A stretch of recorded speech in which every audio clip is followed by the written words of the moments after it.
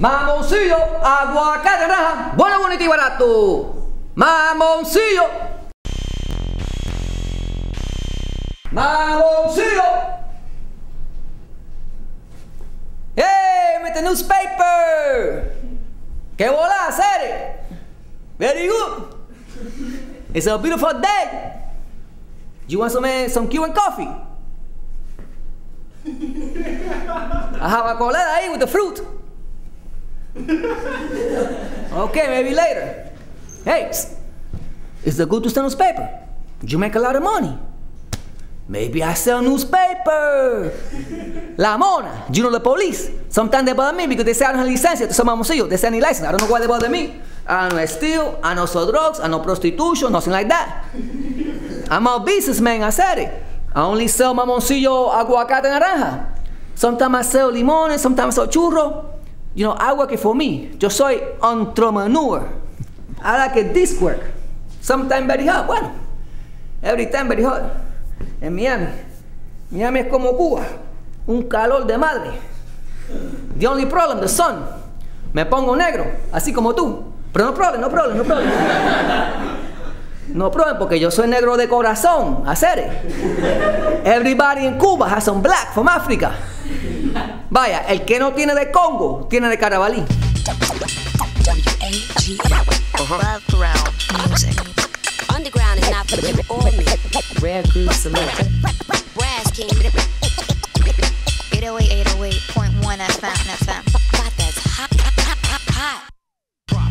spin a web like Charlotte to catch whack MCs that's uh-huh. flooding the market. My candlestick stays eternally lit, sparking it up no matter how dark it gets. I target heads like feds want an X and Martin. Y'all just sit back, a revolution starting in the soul. So just empty out your bowl as we take the higher road and fill it up with fruits now.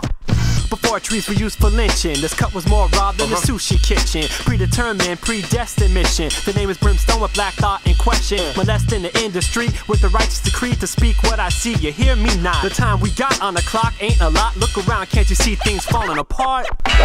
you know, as far as teaching or whatever, I was a little skeptical of that because I don't, I don't do that much of that. And I mean, I had done it before, but my initial reaction was just like, yeah, I could do that. I mean, I wasn't, you know, as thrilled initially about it, and when I got going with it, it got a lot more exciting. You know, I didn't um, proactively have to like teach them. It was more of just like letting them do their thing and then showing them the easiest way to get where they're going, or, or kind of like it was more of a directing than teaching. And, and you know, I, I did show them a few examples and give them some, you know, understanding of um, the fundamentals of it. But I let them, you know, kind of go on their own and just there to assist. Really, it has to stay fun.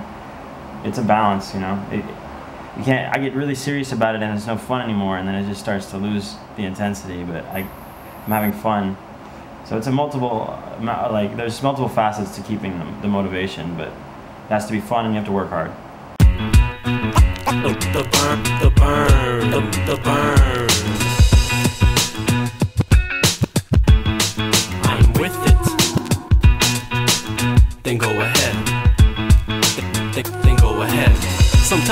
My mind confined to a cell, and the only place I dwell is my own inner shell. Pray tell we all stay well through earthquake, windstorm, fire, and hail. At last, brimstone reigns supreme, like burritos from Taco Bell. Spent many nights feeding my life on things that ain't right, but by twilight, you best believe it'll be alright. Fight fire with water, shower in, hate with love. But when push comes to shove, the Almighty up above intervening. The final decision with precision, allowing my vision to view life from the position of a bald eagle. I married hip hop like a steeple. People, are you ready for the close encounters of this kind? Masters of the ceremony, stand true to the rhyme.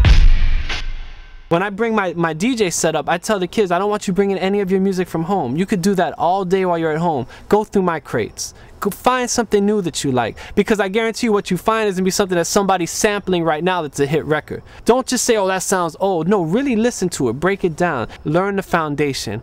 Apply the foundation. Watch how strong what you build is going to be. You know when I felt like when I first heard my record on the radio? Man, I was, that's me. That's me. And, and when I go to the airport still today, when I go to MIA or if I go to Fort Lauderdale Airport, they look at me and they say, I respect you for what you've done for rap. The new rappers today don't do that. They look at me like I'm nobody. It goes from Lil Wayne to all of them.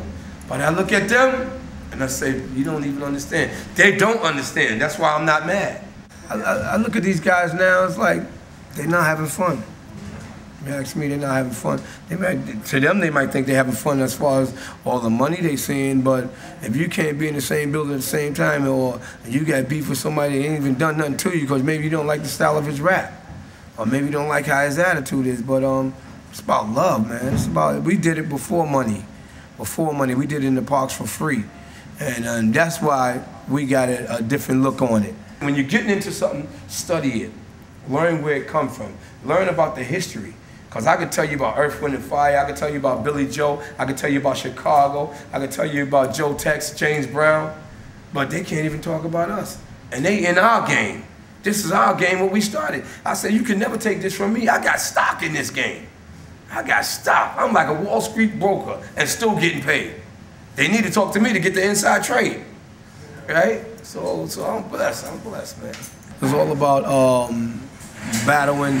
People will battle for on this block you live at, they battle the next block. Uh, who who got the better? Back in those days, it was like who got the best sound system. A lot of them would bring their sound system up. One to put the sound system on this side of the park, another one to put it on the other side of the park. This kept us together. This brought, I mean, a word of mouth. It was no flyers given out. It was a word of mouth and the music that you heard from down the street, and you walked to the park just to listen to that music half of the day. And that's what brought us together, man. It was like love. I see hip hop coming back. May not come back to this to its full potential as we wanted to, but the hip hop will come back. And when I say it, it will come back, the lyrics will come back, the, the contents will come back, the chorus will come back. I, I think, you know, some of these kids will, will follow what, what with what they hear right now, but then again, they're probably gonna follow their heart, which is, you know, what speaks more. You know what I mean? So if, if they understand that, you know, we need more hip hop into our music, we need more lyrics, we need more choruses, we need more catchy hit records, then, you know, they're gonna understand that that's what's gonna give them, you know, longevity of getting paid and and, and being a legend in the game and a pioneer like Brimstone. and look into my eyes and tell me what you see. You see a real DJ, a real DJ. Alright?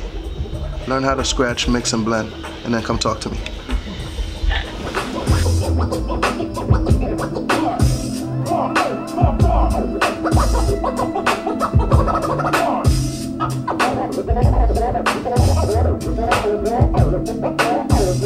Most of the kids that, that are participating in this program don't have a lot of opportunities and resources and they go to schools that aren't considered the best schools. So one of the things that we hope that they get out of it is first of all a, a passion for learning about something they're interested in. They're learning marketable skills in this program. I mean every one of these these tracks have really an opportunity for you know going and doing these things for a living.